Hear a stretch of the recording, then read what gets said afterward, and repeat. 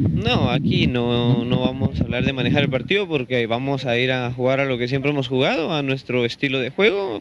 Vamos a tratar de mantener el balón y a tratar de, obviamente, sacar el resultado. Una, una ventaja de dos goles, bien es una ventaja, pero en este esquema de fútbol, que es fútbol rápido, una ventaja de dos goles no, no garantiza nada. Pues. Entonces nosotros vamos con la mentalidad de igualmente ir a proponer a Villanueva y tratar de sacar el resultado, obviamente, si nos traemos la victoria, pues obviamente enhorabuena, ¿verdad? Ya si obviamente logramos clasificar la llave con otro resultado, pues igual lograríamos el objetivo, pero como le digo, mejor si es con la victoria. ¿Y qué se trabajó esta semana? Porque derivado del partido de ida acá en, en Chela, acá en la cantera el pasado día domingo, pues ahí se pueden sacar algunas conclusiones, ¿verdad? En cuanto a cómo aprovechar ese partido de vuelta y, y poder concretar también las posibilidades que se tengan, ¿verdad?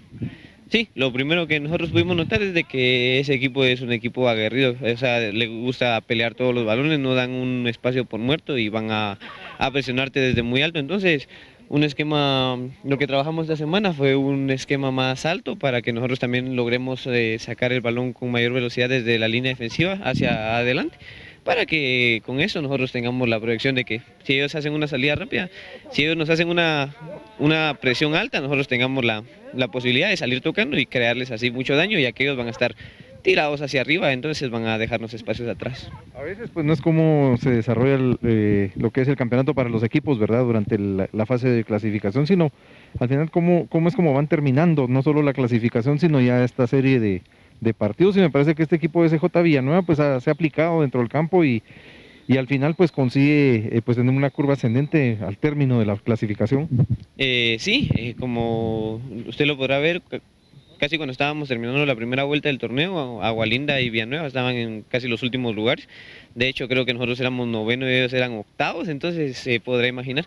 Eh, en toda la segunda vuelta nosotros también tomamos una retomada de puntos donde llegamos a estar hasta la tercera posición y ellos obviamente hicieron su trabajo y se notó porque también lograron terminar en una posición todavía arriba de nosotros al clasificar. Sí, eh, como usted dice, tal vez el, el, torneo regular no, no indica mucho porque ya en llaves finales los equipos a veces eh, cuando es torneo regular, a veces los equipos están diezmados o cosas por el estilo, cosa que ya en llaves finales no es así, ¿verdad? Todos los equipos tienen a su equipo completo y van a todas por todas, pues no, no te regalan nada.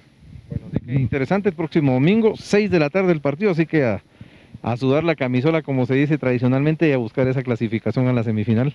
Sí, 6 de la tarde, ahí esperamos puedan acompañarnos en la transmisión que se va a estar teniendo del partido y claro, como usted dice, a sudar la camisola y a poner el nombre de Sheila en alto más que todo y a tratar de conseguir nuestro pase a las semifinales.